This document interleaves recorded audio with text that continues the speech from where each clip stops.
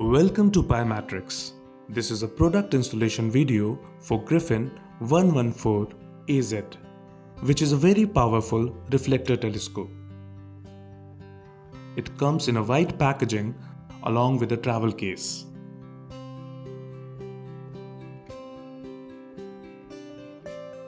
Firstly, we take out the optical tube assembly and a heavy duty stainless steel tripod. Followed by a lot of other useful accessories which we will explore later in this video. Let us take a closer look at all of it. We also get other complementary things like the setup manual, all-in-one QR code, phone mount and a Bluetooth camera trigger. Now, we move on to the tripod installation process. We have the tripod assembly on the table. The Griffin comes with a pre-assembled tripod. We just need to mount the accessory tray on the central leg brace of the tripod. We expand the tripod and mount the accessory tray at the center and ensure it's locked. Let us learn about the other useful accessories we get along with our telescope.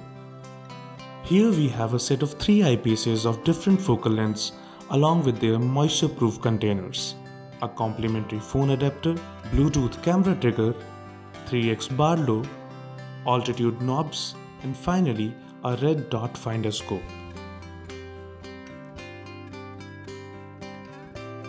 Now take the slow motion rod which is attached adjacently to the OTA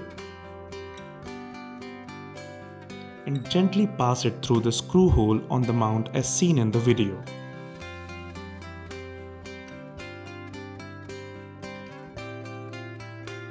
Fix both the altitude knobs.